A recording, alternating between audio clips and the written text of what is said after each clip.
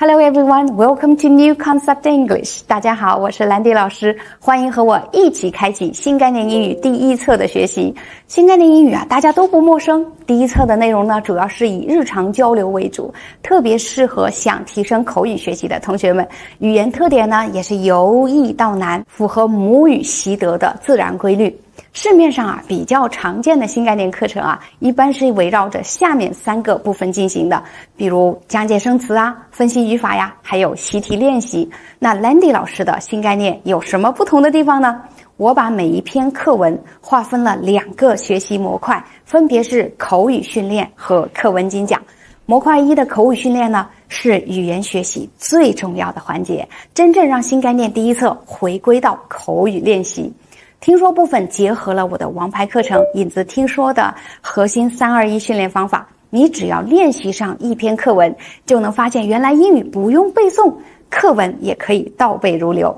在你能听会说的基础上呢，再来进行模块二课文精讲的学习，你会学到词法呀、句法呀，还有口语训练等等模块。其中词汇积累部分结合了我的专利方法单词速记四合一。如果你还没有系统学过，强烈建议你先去听一下词汇课。只要听上一节课，你就会发现原来不用学音标，不用去抄写。单词也能记得又快又牢。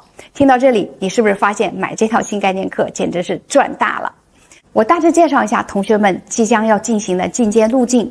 第一册新概念一共有一百四十四节课，大家不要被这个数字吓到啊！其实真正学习的课文只有一半，七十二节课。因为这本书的课程设置啊非常科学，它是单数、双数搭配的模式。单数呢是课文，双数呢是练习，也符合了 Lenny 老师的教学理念。语言就该三分学，七分练。有个五年级同学的妈妈曾经分享过她走过的弯路啊。她以前学新概念的时候，双数课直接跳过，第一册学了两遍，效果也不怎么太好。后来听取了我的建议，回归到三分学七分练，完美掌握了第一册的全部内容。这个零基础的妈妈成功的考取了英语教师资格证。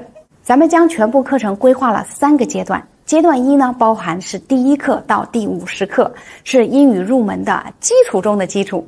那咱们在第一个阶段结束的时候呢，我会加入到复习课，会带着大家一起回顾复习前五十课当中的重点的发音规则呀、词法呀、句法呀，还有语法，包括动词啊、名词啊、形容词、副词等等一些基本的词法，还有陈述句啊、祈使句啊、疑问句啊等等不同的句型变化。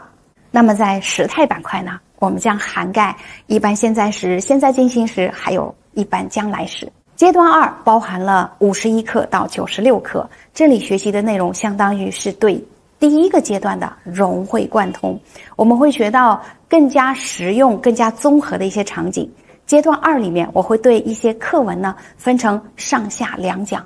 因为随着咱们的课程深入，我们需要复习的、学习的知识点就越来越密集了。为了能够带着你吸收咱们整本书的精华，所以呢，需要阶段性的复习和巩固。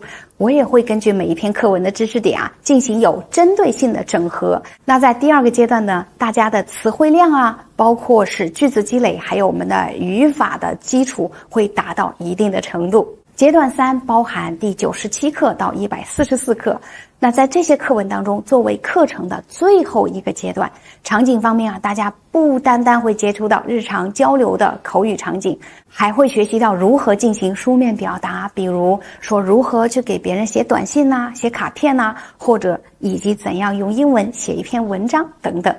阶段三当然也会涉及到更多的场景，还有时态的使用情境，让大家通过丰富的语境呢来学习阶段三。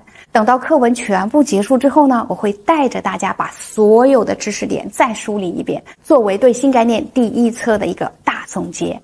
整套课程当中啊，有超过三千个例句，还有一千五百多个核心单词，也有一百五十多条经典句型，还有四大常见时态。那我基本上都是用最通俗易懂的方式讲给你听，让零基础的同学们学起来也津津有味。相信你学完这道课程，你的英语学习一定会燃起浓浓的热情。我还要再向你强调一下，咱们每一节课程都是相互承接的，经过系统的口语训练以及课文精讲，再加上双数课程里安排的课后练习，能够及时的巩固你的学习效果。学习呢，终究贵在坚持。我相信通过 Landy 老师趣味性的教学，一定能够牢牢的抓住你的注意力。而你呢，只需要每天坚持，并且及时做到学习加复习。通过咱们新概念第一册的入门课，一定能为你的英语水平打下最牢固的基础。